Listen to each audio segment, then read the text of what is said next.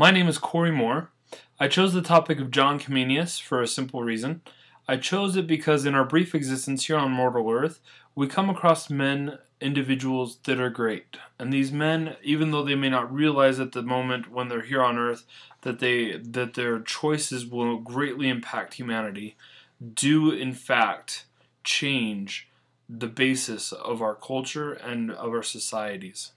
Um, John Comenius was one of those individuals the reforms he brought about and the the theories and philosophies that he installed in people um, were profound and were changing.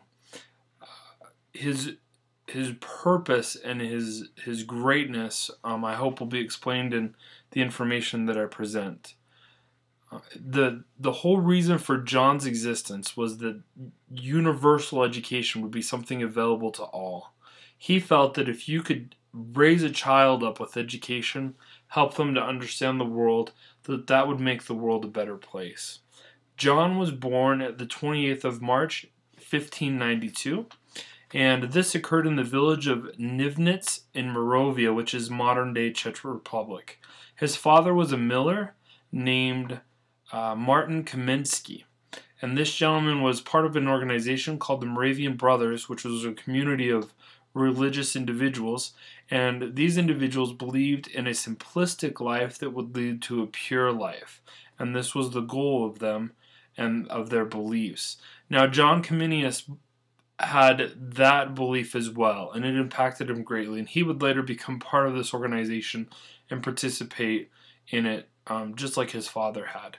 Now, John lived a simple life, and he didn't have that much school until about age 16 where he entered um, the study of Latin at Prerov.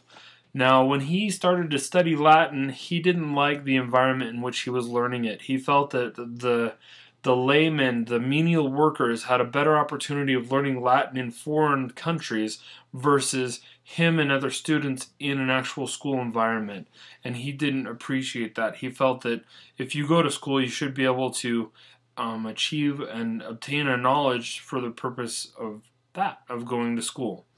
Now, John was appointed rector of that school of Prerov, and he made it easier to learn Latin and the grammar involved with it. Um, he then accepted a position at a new school, the Moravian Brethren Church, as a minister, and he took full charge of that school. Now, it was during this time that he published Orbis Pictus, and that book, which is right here, um, is a great book. It's an example of pictures giving knowledge. And in this book, he would present a picture and then he would explain what was taking place in that picture. And in the PowerPoint, I've given the example of head and a hand, where he was explaining the different features and, and functions of the head specifically. Um, this book was was changing, was was a reformation, especially for the children. They were able to use this, the mothers, and the societies and communities to help instruct and teach their children not only about God and religious things, but also about basic, you know, everyday um, objects and, and processes and, and things that took place.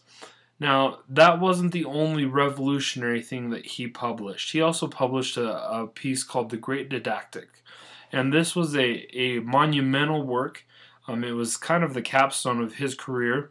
It was a 300 page um, reference material in which basically he described all of his theory about education and what he envisioned as being um, education in in his in his perfect world and what would help um, society best. And what's interesting about what he proposed and how we do things now in modern time it's very similar and I've, I've put that in the information in my written paper and as well parts of it in in the uh, in this presentation but it's very interesting to note that he starts at a very young age and follows it divvied up by ages and goes to the latter years and he, he describes about where it should take place, what time in, in your life it should take place, and what exactly and who should teach you the material. Very interesting stuff because it is essentially the foundation of our modern day teaching. Um, he also um, went on to to be a fighter for his religious beliefs and convictions, and was uh, eventually expelled from where he lived because of some um, problems. But all in all, I have noticed that for me as a future educator, John Comenius has played a, a very important role in what I'm to become.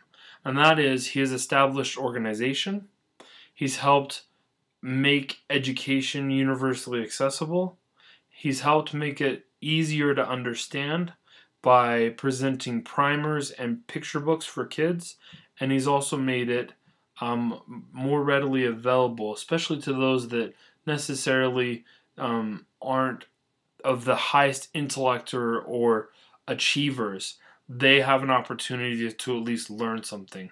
So I believe that John um, Comenius was a great man, a man that has influenced um, deeply the educational um, foundations of our modern society, and we will see that in, into the future, and we will see his influence, and hopefully we can build upon that and make education better and make it become something greater, just like John Comenius did. Thank you.